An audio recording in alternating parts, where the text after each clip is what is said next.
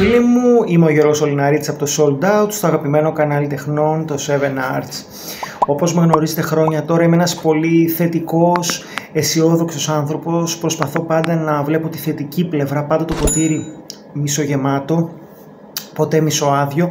Αυτό με βοήθησε και αυτή τη δύσκολη περίοδο που διανύουμε μένοντας στο σπίτι να αντιμετωπίζω πολύ πιο ψύχρεμα τις καταστάσεις και όλο αυτό μας βοηθάει αντιμετωπίζοντας θετικά και ψύχρεμα τα πράγματα να γινόμαστε πιο δυνατοί στις επόμενες δυσκολίες. Ε, πραγματικά ευχαριστούμε και για την αγάπη που έχετε δείξει στα βιντεάκια μας. Ε, στο μένουμε ε, σπίτι όλη αυτή την περίοδο στο 7 Arts, βιντεάκια γύρω από τις αγαπημένες μας τέχνες.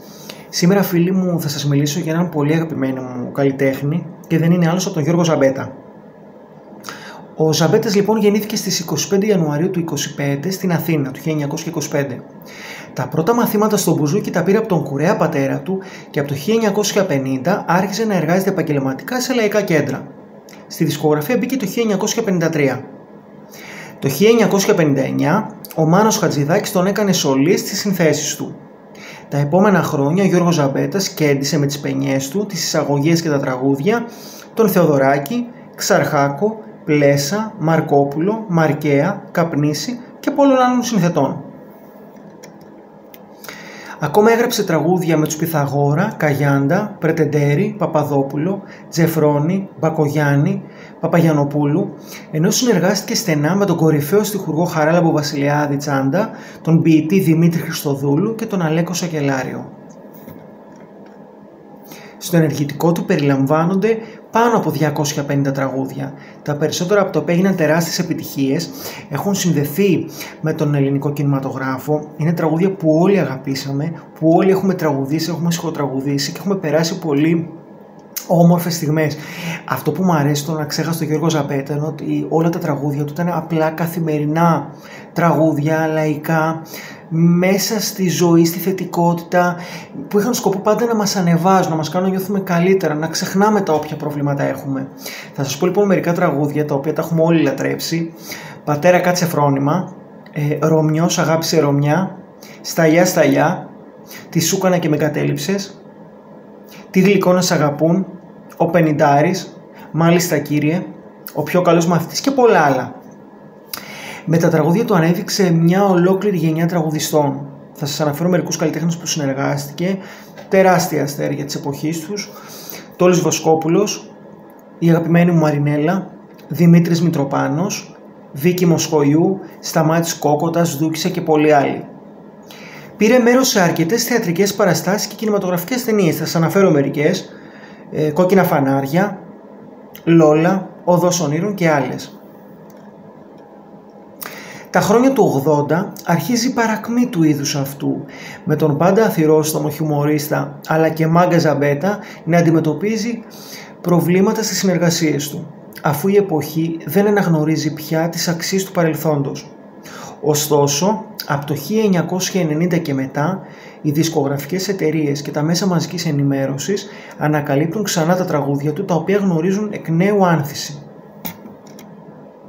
Δυστυχώς όμως ο ίδιος ο Ζαμπέτας βρίσκεται στη δύση της ζωής του. Στις αρχές του 1992 δεν ένιωθε καλά και πονούσαν τα κόκαλά του. Όταν η κατάσταση επιδεινώθηκε μπήκε στο νοσοκομείο με τη διάγνωση του καρκίνου στα οστά σε προχωρημένη κατάσταση.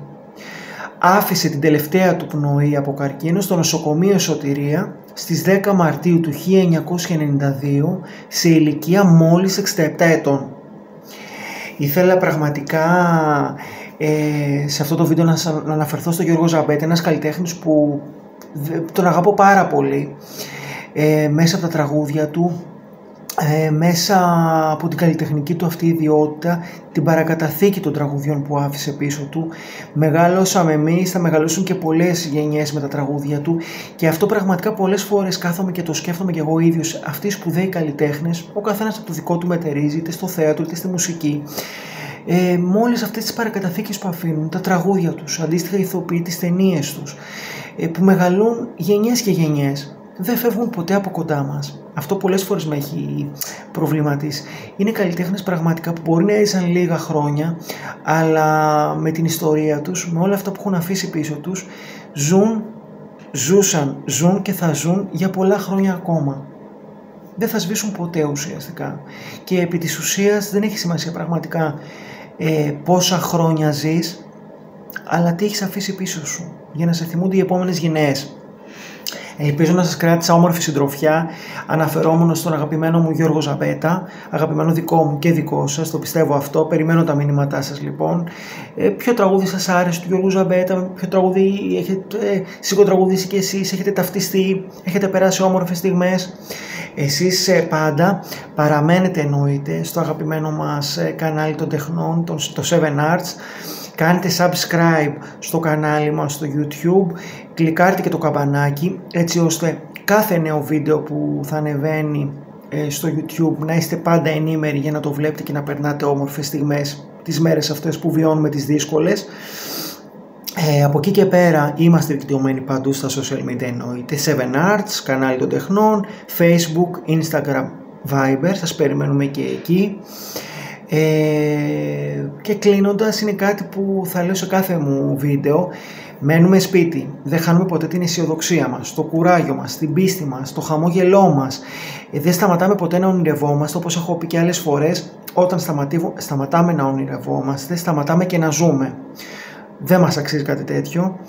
Ε, οπότε, με χαμόγελο, αισιοδοξία, πίστη, κουράγιο, θα ξεπεραστεί και αυτή η δύσκολη στιγμή και θα γίνουμε πιο δυνατοί για να αντιμετωπίζουμε τις δύσκολες στιγμές που θα έρθουν από εδώ και πέρα στη ζωή μας. Να είστε καλά φίλοι μου, σας ευχαριστώ πάρα πολύ, παραμένετε πιστοί στο κανάλι των τεχνών, σας αγαπώ πολύ.